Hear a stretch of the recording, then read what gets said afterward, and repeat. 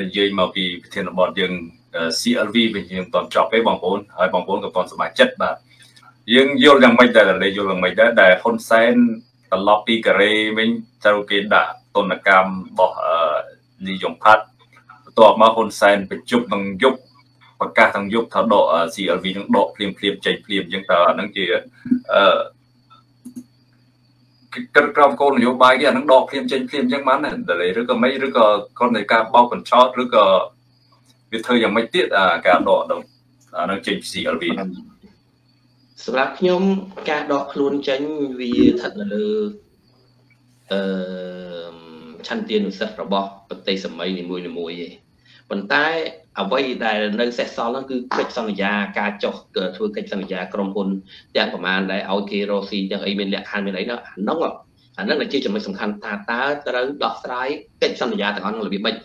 អឺអាហ្នឹងជារឿងសំខាន់ហើយឬសូថាមានក្រុមហ៊ុនដីសម្បត្តិខ្លះសិតតែ ថកែរបស់វាគឺសិតតែជាទាហានសិតតែជាទាហានរបស់យួនសិតជាទៅជាមេតបរបស់យួនទៅទៀតណាអញ្ចឹងអាហ្នឹងឯងដែលយើងត្រូវតាមដានថាតើករណីហ្នឹងវាមានរឿង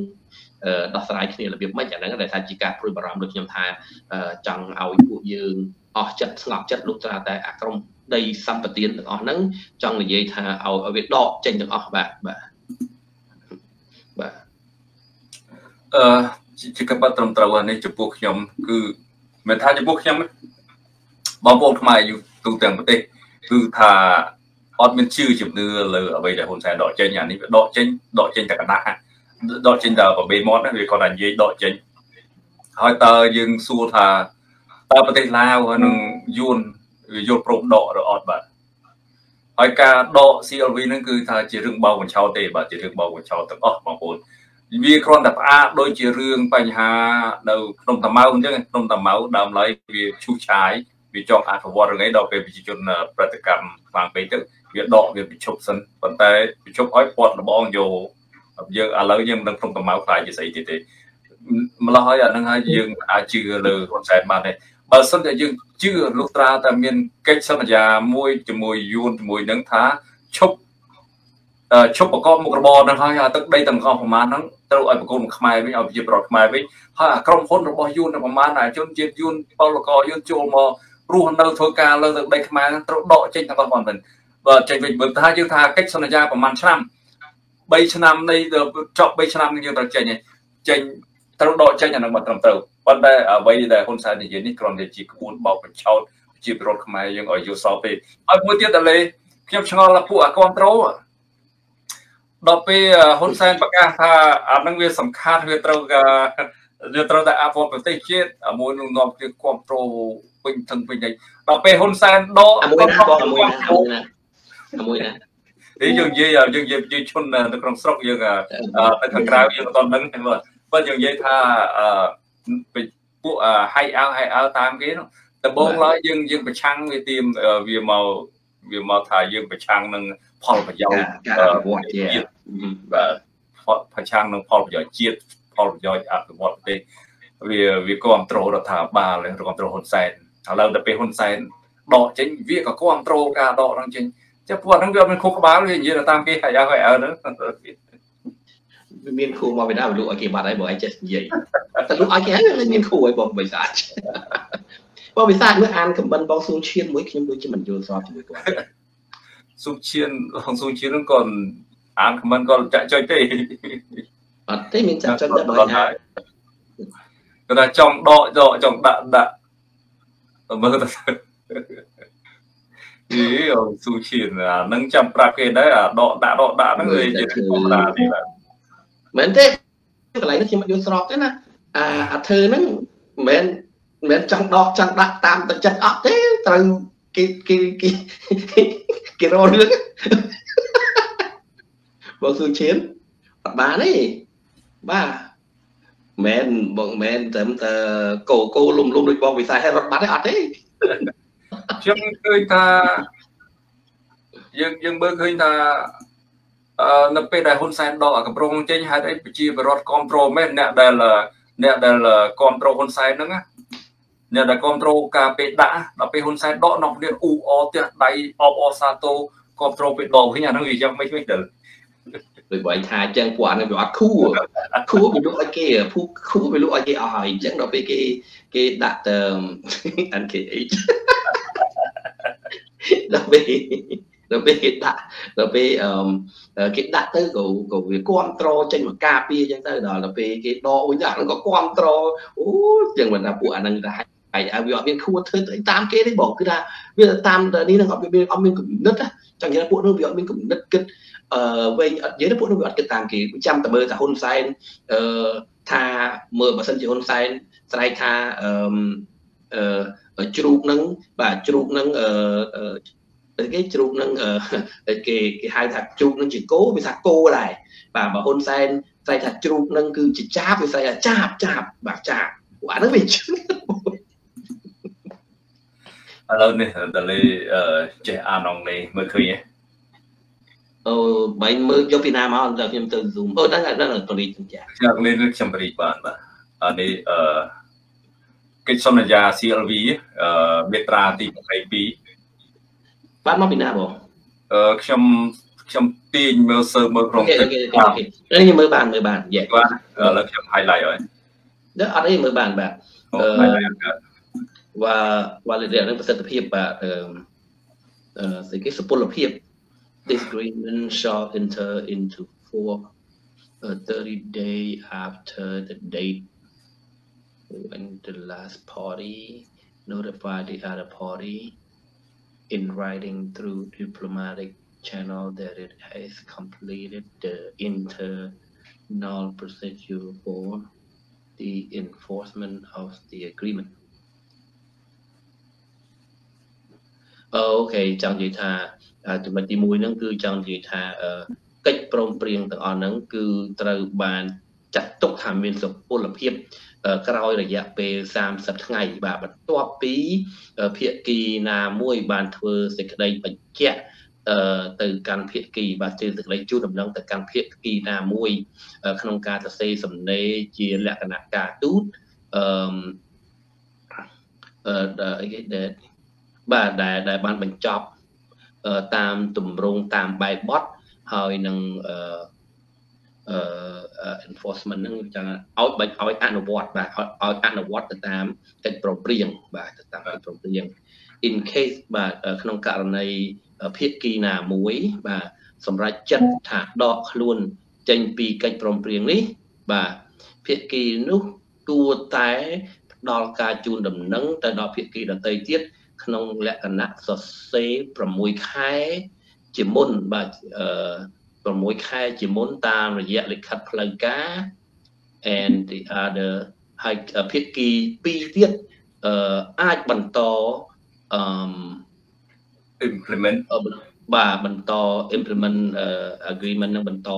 កិច្ចព្រមព្រៀងចង់និយាយភាគីបន្តទៀតនឹងគេនៅតែបន្តទៀតខ្ញុំមានន័យថាភាគីពីរទៀតអាចបន្ត implement យល់ស្របនៅតាមកិច្ចសន្យាហ្នឹងដែរបាទបងប្អូននេះយើងចង់សម្ដែងចង់ប្រាប់ឲ្យបងប្អូនថាការកិច្ចសន្យាហ្នឹងបងប្អូនកិច្ចសន្យា CLV ហ្នឹងបើសិនជាយើងចង់ចង់ដកយើងត្រូវបញ្ជូនដំណឹងគេ30ថ្ងៃមុនមានសុពលភាពអញ្ចឹងមើលខ្ញុំទៅវាច្បាស់អញ្ចឹង ហើយទុករយៈពេល6ខែ6ខែតាមផ្លូវការទូតដោយប្រើធ្វើជាលិខិតតាមលេខអក្សរតាមការផ្លូវទូត6ខែមុនដើម្បីឲ្យភាគីទាំងពីរសម្រេចចិត្តនឹងបន្តការយល់ស្របនឹងនឹងកិច្ចសន្យាហ្នឹងដើម្បីឲ្យគេយល់ស្របប៉ុន្តែយើងសួរថាតើឡាវហើយនឹងយួន បានយល់ស្របដកហើយទៅនៅអ្វីដែលហ៊ុនសែនហ្នឹងដល់ហើយ agreement របស់ CLV នេះយើងចាំមើលបន្តទៀតបាទយើងចាំមើលបែ60ពេល6ខែទៀតបាទមិនមិនអាចដកបានបងប្អូនកុំយល់ច្រឡំថាហ៊ុនសែនដកហើយយើងសប្បាយចិត្តកន្លែងនេះខ្ញុំយក agreement យកអឺខសន្យាហ្នឹងគេហៅស្អី Oracle ហ្នឹងគេហៅច្បាប់ទេអានេះច្បាប់ដូចយើងគេហៅថា អឺ agreement ច្បាប់ស្គាល់ថារដ្ឋធម្មនុញ្ញនេះដូចរដ្ឋធម្មនុញ្ញ CLV ហ្នឹងកិច្ចព្រមព្រៀងបងហ្នឹងហើយហ្នឹងហើយដូចកិច្ចព្រមព្រៀង CLV ទាំងប្រទេសទាំង3ហ្នឹងបើភាគីណាមួយចង់ដកចេញត្រូវជូនដំណឹងគេ6ខែមុនអស់3 30ថ្ងៃមុន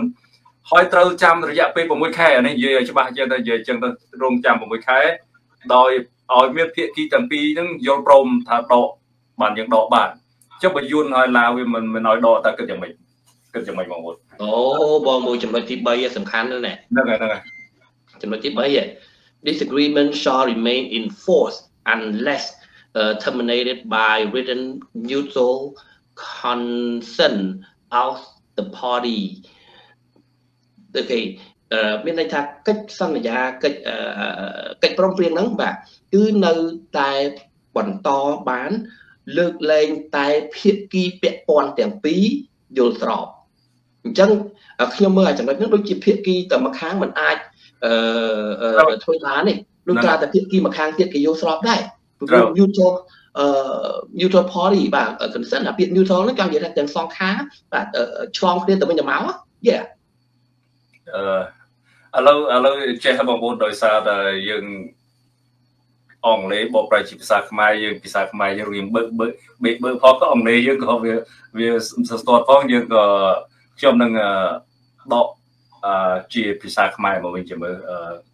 ខ្ញុំឃើញគេបង្ហោះមួយដែលគេប្រំព្រៀងនឹងមួយដែរខ្ញុំយកជាភាសាខ្មែរមកប្រៀបធៀបគ្នាតើត្រូវគ្នាអត់ខ្ញុំខ្ញុំខ្ញុំមើលចំណុចទី3នេះសំខាន់បាទហ្នឹងហើយចំណុចទី3សំខាន់អា6ខែនោះត្រាតែភាគីទាំងសងខាងណាបង អាហ្នឹងដូចថាជូនដំណឹងឲ្យគេសិនតាមអានេះចោះយើងអង្គុយស្រាវជ្រាវតិចសិនបានយើងយល់អត្ថន័យអស់បាទបងប្អូនដល់ពេលមកអានចឹងវាអាហ្នឹងហើយដែលខ្ញុំព្រួយបារម្ភដែលខ្ញុំគិតថាតើអាក្រុមហ៊ុនដីសម្បត្តិទាំងអស់ហ្នឹងវាដកទៅតាមអ្វីដែលពួកហ្នឹងប្រកាសហ្នឹងតាមអំពើចិត្តជាលបែងស្ពិនភ្នែកលេងសៀកប៉ាហ៊ីមិនស៊ីលុយហ្នឹងឬក៏យ៉ាងម៉េចបាទឬក៏គាត់តែប្រកាសអញ្ចឹងទៅប៉ុន្តែអាក្រុមហ៊ុនដីសម្បត្តិអាក្រុមហ៊ុនជីករ៉ែមាសកាប់ឈើកាប់អីហ្នឹងបន្តធ្វើធម្មតាអញ្ចឹងអាលិខិតហ្នឹងគាត់ទៅបង្ហោះដើម្បីបន្ទន់ចិត្តប្រជាពលរដ្ឋខ្មែរឲ្យឈប់ចាប់អារម្មណ៍ដោយករណីភ្នំតាម៉ៅហ្នឹងជាឧទាហរណ៍ស្រាប់ហើយបាទអូខេឥឡូវ ឥឡូវនឹងខ្ញុំនឹង Euro agreement ហ្នឹងជា No បងឯង highlight copy បងឯងយក mouse ហ្នឹង select នៅលើអាចំណុចទី3ហ្នឹង copy ទៅអានេះ PFD យើង copy អត់បានណាយើងខ្ញុំខ្ញុំពីពី Telegram អត់អត់បានវាឲ្យឲ្យឲ្យអឺ select select តែពីអត់អត់ហ្នឹងវា highlight អត់បានវាអត់ឲ្យ highlight ផ្ញើមកខ្ញុំមើលក៏លើខ្ញុំអាចនេះបាទ អាហ្នឹងតើយើង download ទៅសិនវានៅក្នុង P PDF PDF ទៀតទៅយើង download ទៅសិនប៉ុនប៉ុនមិនទេខ្ញុំខ្ញុំបានព្រៀងទុកមុនមកវិញចឹងអូខេចាំមើលយើងបន្តទៀតចាំមើលគីឡូវាបាទយើងយើងត្រូវមើលចំណុចហ្នឹងបាទបាទអឺចាំផ្លេតបងប្អូនចាំផ្លេតអូខេ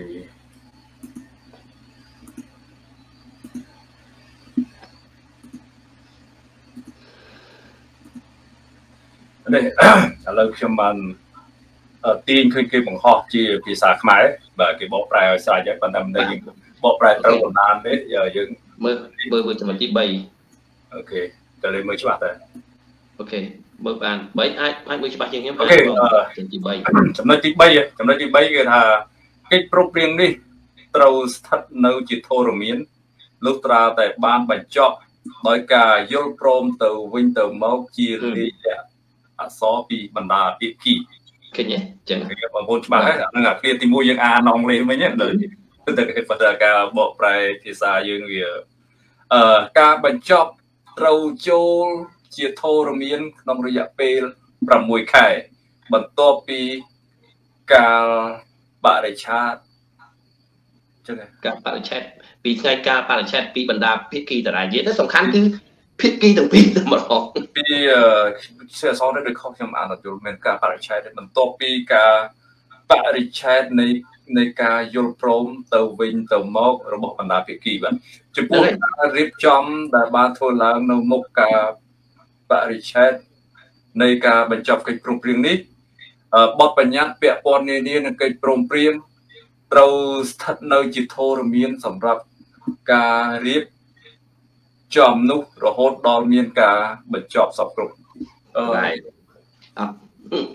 យល់ទេខ្ញុំស្ទាយយល់ទេអឺយល់ហើយបងអឺអត់ទេបងខ្ញុំ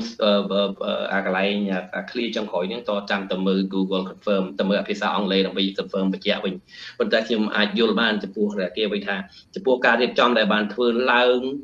នៅមុនការបរិច្ឆេទនៃការបញ្ចប់កិច្ចព្រមព្រៀងនេះមានន័យថាអាថ្ងៃដែលគេបានបរិច្ឆេទនៃការបញ្ចប់កិច្ចព្រមព្រៀងនេះណាបាទ បទបញ្ញត្តិពាក់ព័ន្ធនានានៃកិច្ចព្រមព្រៀងគឺត្រូវស្ថិតនៅនៅជាធរមានមានន័យថានៅតែមានប្រសិទ្ធភាពសម្រាប់ការរៀបចំនោះរហូតដល់មានការបញ្ចប់សពគ្រប់បាទបាទអញ្ចឹងអញ្ចឹងមានន័យថាអាអាអា កិច្ចព្រមអាអ្វីទាំងអស់នោះគឺអត់ទាន់បានបញ្ចប់ទេលុះត្រាតែបានការបញ្ចប់សពគ្រប់តាមរយៈការយល់ព្រមពីក្រម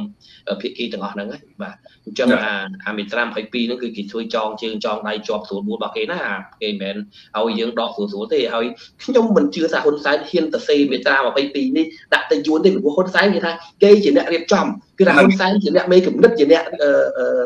ធ្វើ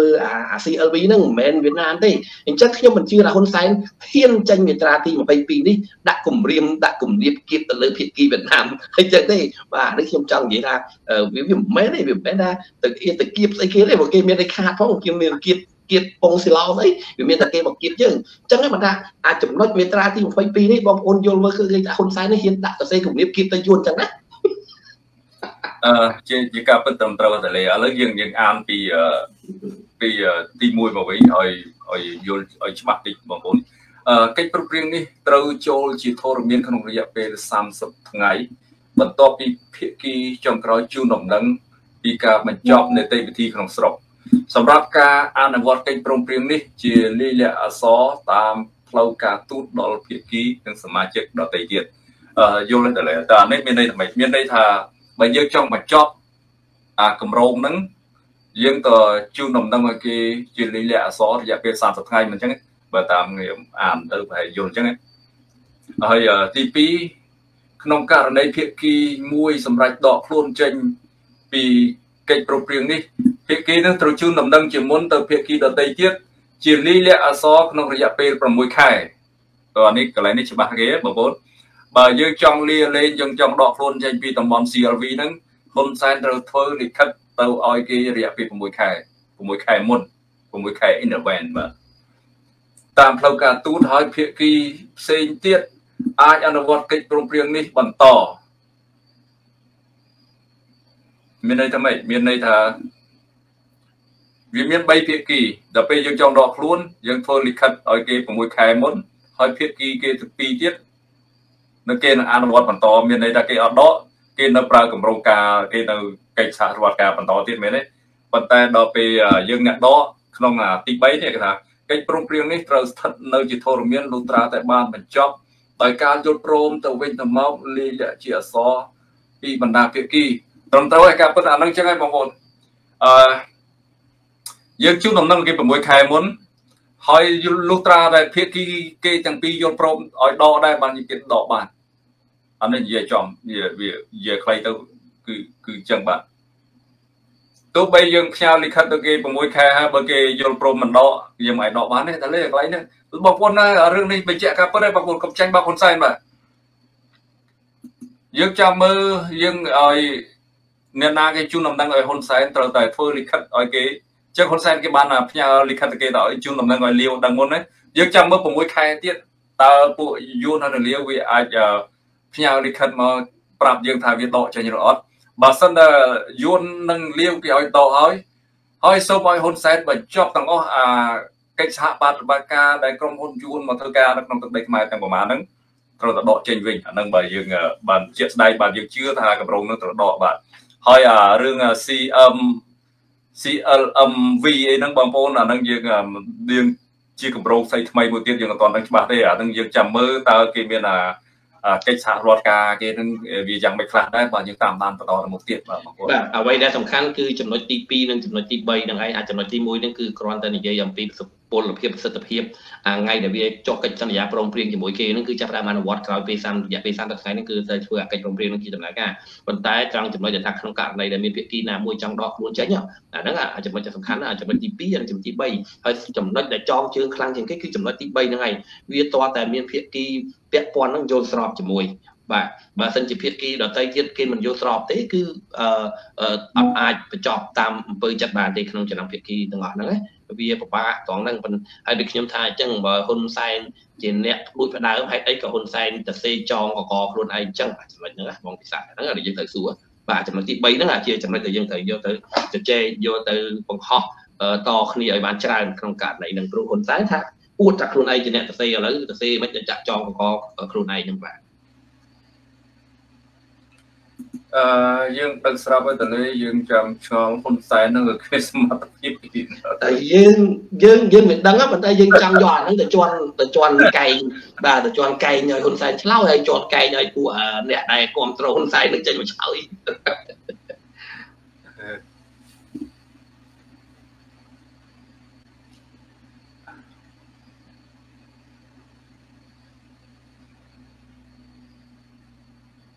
បងហ៊ីលយូការ៉ាដកយ៉ាងម៉េចបើហ៊ុនសែនជាប់ចំណងដីសមទាន99ឆ្នាំ ជាអន្តៈតកហ៊ុនសែនដដែលបាទអានឹងយើងហ៊ុនសែនណាបងប្អូនបើនិយាយពីរឿងហ៊ុនសែនពីយួនណាបាទហ៊ុនសែនចង់ដកខ្លួនចេញពីយួនវាយើងមានមធ្យោបាយច្រើនណាស់វាងាយស្រួលដល់ការដកទេយើងមាន23ដុល្លារតែបងប្អូនយើងមានអាកិច្ចប្រំពៃ23ដុល្លារសំទីក្រុងប៉ារីសប៉ុន្តែហ៊ុនសែនអត់ប្រើ ហ៊ុនសែនបោះបង់ចោលអឺគេហៅខ្មែរយើងគេហៅបោះបង់ចោលអាវការពារខ្លួនអាវក្រោះការពារខ្លួនយើងហ៊ុនសែនទៅចាប់ទៅចាប់យោយួនហ្នឹងបងប្អូនអានេះបញ្ជាក់យ៉ាងម៉េចបញ្ជាក់ថាហ៊ុនសែននឹងគឺកម្រងក្បត់ជាតិតាំងពីដើមមកហ៊ុនសែននឹងចង់គ្រប់គ្រងប្រទេសកម្ពុជានឹងដើម្បីជួយយួនអឺអលេទឹកដីខ្មែរអាកន្លែងហ្នឹងហើយហ៊ុនសែនមកនិយាយថាដល់ពេលខ្លួនឯងដកអាកម្រងនឹងចេញដើម្បីឲ្យដកដាវអីពីដៃបពប្រឆាំង ហើយចោតតែបកចាំងខ្លួនឯងគឺជាសត្រូវឯអស់លោកបងប្អូនណាកន្លែងហ្នឹងតែយើងទទួលយកបានទេដែលយើងជាប្រជាជនខ្មែរយើងព្រួយបារម្ភពីបាច់បាត់បង់ទឹកដីយើង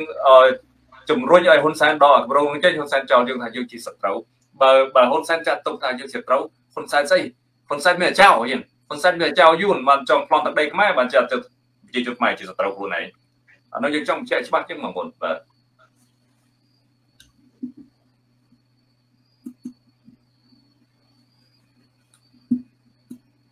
អានេះវា PDF ខ្ញុំ highlight វាអត់បានមានតែ screenshot អឺអូខេខ្ញុំខ្ញុំ screenshot មួយ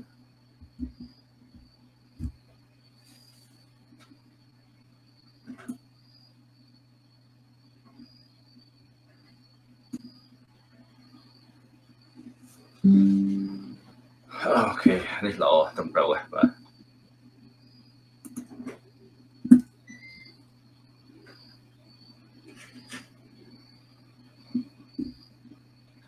ពេកអឺចុងម៉ោងដល់លេយើងថ្ងៃនេះប្រហែលជាដល់ម៉ោងយើងមានរឿងអីបន្ថែមទៀតទេចង់និយាយបន្តទៀតមានរឿងផ្សេងទេអឺខ្ញុំអត់អីបងព្រោះខ្ញុំចូលដើម្បីជាជាជំនួយការបងក៏លោកបងមានប្រធានបទអីចឹងទៅមានសំណួរមានអីខមមិនបងប្អូនយើងចឹងនេះប៉ុន្តែបើសិនជានេះក៏នេះពួកខ្ញុំក៏រៀងទៅញ៉ាំថ្នាំញ៉ាំអីដែរបាទអឺឥឡូវយើង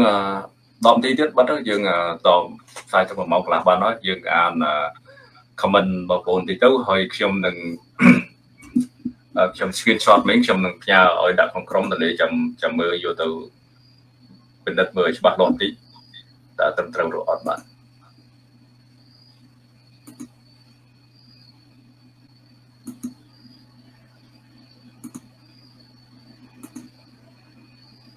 អូខេនេះអឺ ខ្ញុំនឹងដាក់ក្នុងក្រុមទូទស្សនការហើយបាទអូខេឥឡូវបាទជម្រាបសួរអ្នកមីងការព្រៃហើយនឹងអ្នកមីងវត្តសមៈបាទចូលមកក្រោយគេបាទអូឥឡូវហៅអ្នកមីងផ្កាព្រៃហ៎ចូលក៏ហៅយកលោកពូអូខេសកម្មថ្ងៃមួយ waiting for the agreement from all three team is equal to 0 point on expectation of cancelling on the CLV plan អានេះជាអ្វីដែលសង្ឃឹមថ្ងៃមួយគាត់ comment មកគាត់ថារងចាំការយល់ព្រមពីប្រទេសពីរទៀតហ្នឹងគឺស្មើនឹង0ដែលយើងរំពឹងថាការដកខ្លួនចេញពី CLV ពីកម្រង CLV ហ្នឹងបាទ Okay, um, Malinkau kata this article is hidden or deceiving the meaning. អឺអ្នកណាគេអ្នកបង្ហោះបង article ហ្នឹង22ហ្នឹងអឺខ្ញុំឃើញអឺបូនចាន់ឡូតបាទបូនចាន់ឡូតក៏ជាអ្នកស្រាវជ្រាវខាងខាងច្បាប់ហ្នឹងហើយគាត់បង្ហោះ article 22ហ្នឹងហើយគាត់បកប្រែជាភាសាខ្មែរមកហើយហើយអាភាសាអង់គ្លេសហ្នឹងខ្ញុំទាញចេញពី ពី Telegram របស់របស់ពូហ៊ុនសែននេះក៏មកគេដឹងហើយគេដកខ្ញុំចេញបាទខ្ញុំសូមសរសើរហ៊ុនសែនចេះអឺព្រួយផ្ដើម CLV ហើយធ្វើច្បាប់ចងជើងខ្លួនឯងខ្លាំងមែនទែនអឺយើងចង់បខុសហើយយើងចង់ធ្វើឲ្យអត្តន័យឲ្យពួកអា ពួកអាល្ងើប្រហែលអ្នកគេថាមិនបានដាក់ផងឲ្យគេដកយ៉ាងម៉េចឥឡូវយ៉ាងម៉េចឥឡូវមើលអារកោយើងមើលអាល្ងើណាអាល្ងើណាខ្លះជាពាក្យហ្នឹងមិនបានដាក់ផងដកមិនអឺអតាល្ងើនៅមេតមួយហើយអាស្គីលមួយទៀតអឺ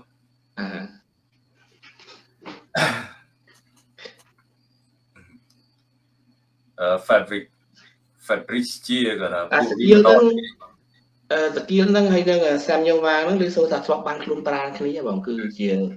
boyfriend ជាមួយគ្នាចាបាទតែពិតខ្ញុំអត់ដឹងរឿងទេបាទអឺខ្ញុំទៅក្រោយមកបើមានបងប្អូនយើងអ្នកចិត្តស្និទ្ធខាងសាំញោវាងហ្នឹងគេប្រាប់ខ្ញុំថាសាំញោវាងហើយនឹងតាគៀនហ្នឹងគឺពីមុនមកធ្លាប់ជាសង្សារនឹងគ្នាអឺសេចមកថាហ៊ុនសែនបោកទៀតហើយបងអើយគេដឹងតែបោកហើយយើងត្រូវរកវិធីតែដោះស្រាយធ្វើមិនយើង បំបីអាគូបុកបោកនឹងឲ្យហ៊ុនសែនលេខកតុយមកទៀតពីព្រោះអឺពេលនេះទោះបីយើងមិនបានជោគជ័យ100%មែនបងប្អូនប៉ុន្តែយើងយ៉ាងហោចណាស់ក៏យើងដឹងថាហ៊ុនសែនខ្លាចកម្លាំងប្រជាពលរដ្ឋទី1ខ្ញុំជឿថាហ៊ុនសែនខ្លាចកម្លាំងប្រជាពលរដ្ឋទី2ប្រហែលជាហ៊ុនសែនមានសភាពផ្ទៃក្នុងតលេយល់យ៉ាងណាថាហ៊ុនសែនមានសភាពផ្ទៃក្នុងនេះវាអាចពាក់ព័ន្ធនឹងការដក CLV ហ្នឹង ខ្ញុំជឿថាមានដល់ខ្ញុំជឿថាមានបងសម្ពាធផ្ទៃក្នុងខ្លាំងណាស់ពីព្រោះយ៉ាភ្ជុះបោកផ្ទៃក្នុងប្រហែលថ្ងៃហ្នឹងប្រហែលមួយរយៈហ្នឹងយើងមើលហេតុការរៀបរាប់ចាប់តាំងពីបង្កើតព្រឹត្តិការណ៍18សីហាហ្នឹងដើម្បីអូសទាញឲ្យចូលអន្តៈប្រហែលជាចង់ទាញឲ្យក្រុមផ្ទៃក្នុងខ្លះហ្នឹងដើម្បីចូលអន្តៈចង់ដឹងអាណាចង់បដួលអញខ្លះហ្នឹងហ្នឹងអាហ្នឹងអារៀបចំអា18សីហាហ្នឹងគឺធ្វើអាហ្នឹងមួយបន្ទាប់មកទៀតក្រោយមកយើងសង្កេតឃើញថាអ្នក ប្រើប្រាស់បណ្ដាញសង្គម Facebook ហ្នឹងគឺចេះតែយករឿងបាតណាបាតណីទៅបង្ហោះថាសខេងសសុខាអីហ្នឹងហ្នឹងក៏ត្រូវបានពួកគាត់ហ្នឹងចេញមកប្រកែកចេញមកប្រកាសប្រកែកមានន័យថាពីកំពុងតែមានសម្ដៅកំពុងតែមានកម្ដៅមានការបន្ទុកចិត្តគ្នាស្រាប់ផងហើយយកគាត់ទៅបញ្ចុះទៅបន្ថែមចឹងទៀតវាធ្វើឲ្យបញ្ហាហ្នឹងគឺពួកហ្នឹងគឺត្រូវតែចេញមកការពារខ្លួនឃើញខំចេញមកប្រកាសមកអីតតាំងហ្នឹងអាហ្នឹងវាជារឿងមួយដែល យើងសង្កេតឃើញវាមានបញ្ហានៅខាងក្នុងហ្នឹងហើយបន្ទាប់ពីហ្នឹងមកគឺឃើញចាប់ខ្លួនអតីតប្រសង់បាទអន្តិតមួយរូបដែលទប់ដែលគាត់ជាអ្នកហៅសខេងថាជាផ្កាយសំណាងរបស់ខ្មែរហ្នឹងបាទគឺចាប់ខ្លួនគាត់យកទៅឃុំខ្លួនដោយសារតែគាត់មិនគ្រប់គ្រង CLV ហើយគាត់ហ្នឹងគឺជាមនុស្សដែលឆ្លាញ់សខេងគ្រប់គ្រងសខេងខ្លាំងបាទសិតទៅហៅសខេងជាផ្កាយសំណាងបន្ទាប់ពីចាប់នឹងហើយស្រាប់តែឃើញប្រកាសនៅក្នុងសភា ថានឹងប្រជុំសភាដើម្បីដោះដូររុះរើសមាជិកភាពប្រព័ន្ធរបស់រដ្ឋាភិបាលដែលខ្ញុំវាមានការចម្លែកក្នុងចិត្តពីព្រោះថាធម្មតាបើសិនជាផ្លាស់ដូរត្រឹមតែរដ្ឋមន្ត្រីផ្លាស់ដូរត្រឹមតែរដ្ឋមន្ត្រីគឺអត់មាន ចាំបាច់អីអាណាប្រកបប្រកាសក្នុងសភាទេបើទោះបីជាច្បាប់ជាទូទៅគឺត្រូវរៀបចំនៅក្នុងសភាក៏មែនប៉ុន្តែតាមទម្លាប់ហ៊ុនសែនគឺកោះប្រជុំតែទីស្តីការគណៈរដ្ឋមន្ត្រីហ៊ុនសែនជានាយករដ្ឋមន្ត្រីសញ្ញេគឺដករដ្ឋមន្ត្រីម្នាក់ចេញបានក្នុងរយៈពេល24ម៉ោងហ៊ុនសែនធ្លាប់និយាយអាហ្នឹងសម្ដីហ៊ុនសែនបាទសម្ដីហ៊ុនសែនខ្ញុំអត់យកសម្ដីច្បាប់មកនិយាយច្បាប់វាតែតែមានការកោះហៅសួរដេញដោលចឹងមែនប៉ុន្តែសម្រាប់ហ៊ុនសែនធ្លាប់បាននិយាយអួតកេងខាងអំពីអំណាចនាយករដ្ឋមន្ត្រីរបស់ខ្លួនហើយ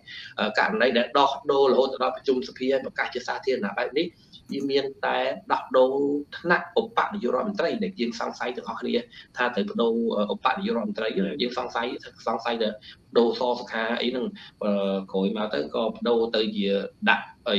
អីគេអឺសុកសុកេនអីណាអីហើយនឹងអីហើយនឹងស្អីស្អីហៅបាទអឺ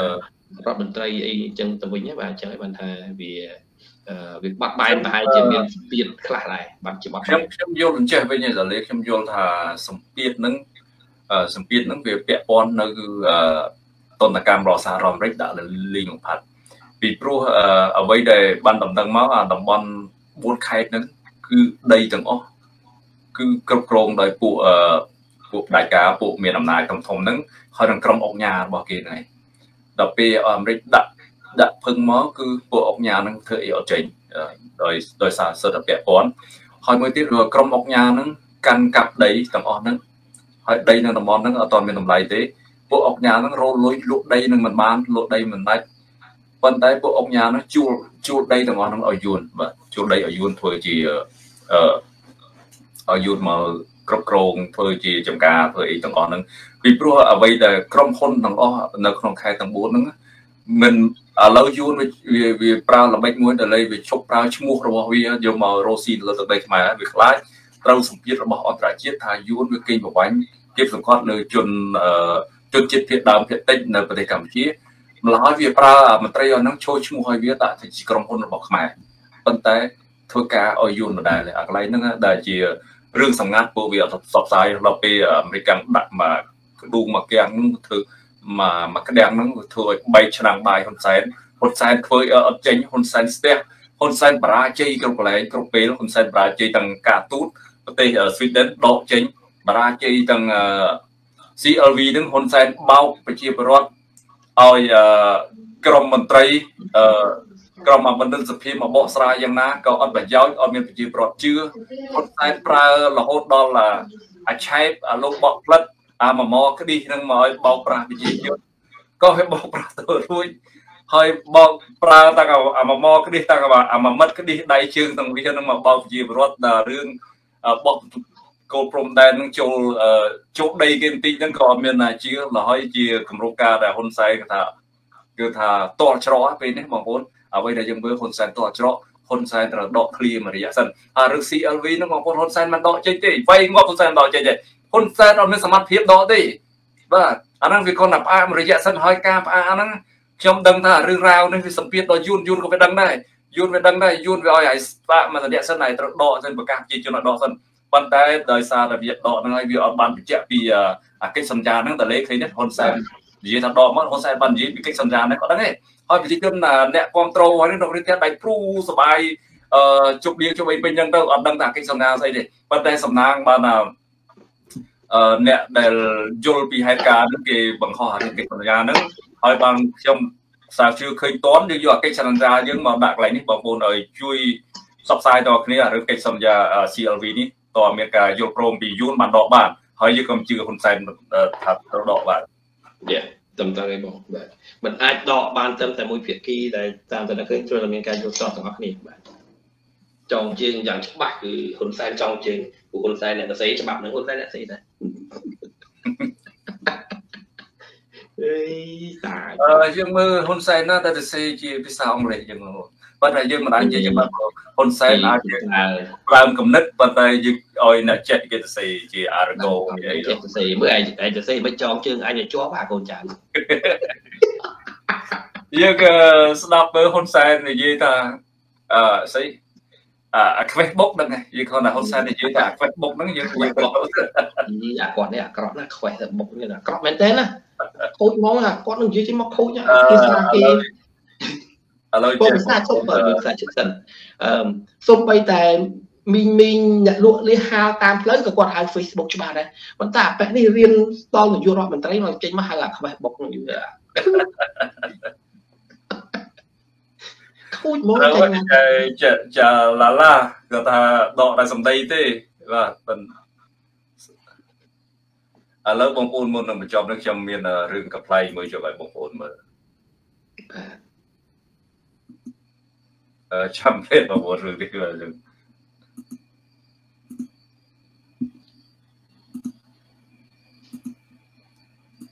ថ្ងៃនេះដាក់កំ pl ចុងម៉ោងចុះអាវី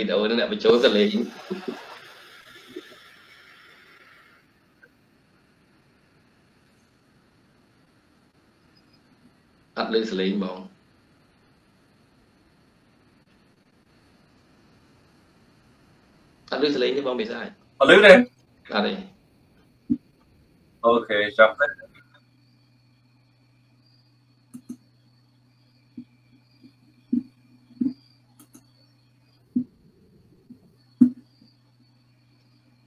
យ៉ាចែកសូហ្វីណ៎មានអ្នកនឹកចូលមក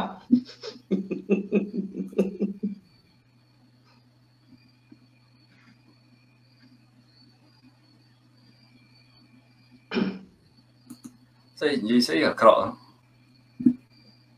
គេជឿជាក់ស្អែកណាគេគេថាគេតតាហ្នឹង